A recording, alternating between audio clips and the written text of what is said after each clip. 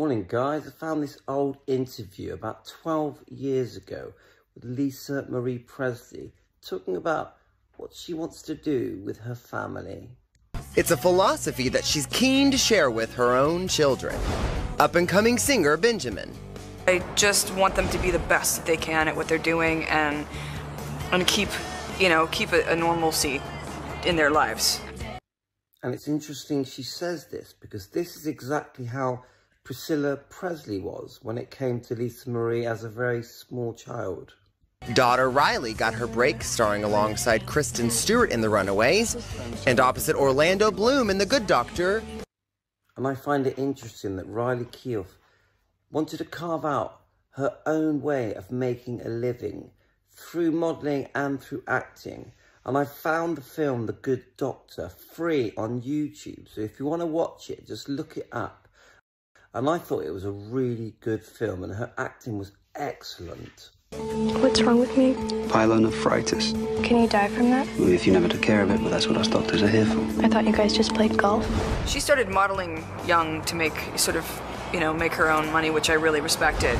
But I knew ultimately she wanted to move into other things. And when she wanted to be an actress, I took her to see, I said, I want you to watch a real actress. I want you to see someone who's really doing this for the craft, not not doing it because they're really pretty and really skinny and they live in LA, but because they're really in there. And I took her to see Monster with Charlize Theron. Cut to, anyway, now she's in Africa shooting with her on Mad Max. I was just like, this is really incredible. Riley Keough actually met her husband, Smith Petersen, whilst filming reshoots of Mad Max. She was in a relationship when she first met him during the original filming but then started dating later, a year later, on the reshoots. While her eldest are on the fame fast track, the 44 year old has opted for a gear change after giving birth to the newest additions to her brood twin girls, Harper and Finley, three years ago.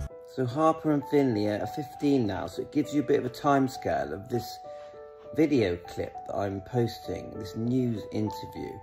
And it's obviously been done in much happier times specifically a relocation to a $15 million estate in the quiet English countryside. So from my little bit of research that I've done, they moved to England in 2010 for six years um, in a small town called Rotherford in East Sussex. Uh, I did find another clip that said Tunbridge Wells, so I'm not 100% on this. Let's keep watching. I wouldn't raise my my younger ones in Los Angeles solely at this time. I'm making sure they have another, an entirely different scene and stage setting somewhere else that's not just this celebrity enriched environment. And from what I've read, she literally just got fed up with California. She'd been there for 17 years and hardly spoken to anybody in all the years she'd lived there. She just didn't feel this was right.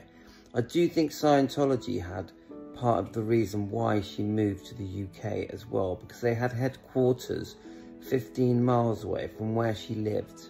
But even a move across the pond can't distance them from their famous grandfather. They're so proud. They know who he is. And they, you know, I took him to see Viva Elvis in, in Las Vegas uh, a few months ago, and, and, and Finley's, and both of them were just she's just so she gets so excited and if she hears him she gets really excited in the car and they want to dance to him and they're just thrilled and and so uh, it's really cute. I mean it just it's really cute. Well thanks guys. I hope you've enjoyed this. It's been a very interesting video to make and put together and my heart hurts for lisa marie presley and her kids who must be having an extremely difficult time and she will always be missed, Lisa Marie Presley. She was a one-off.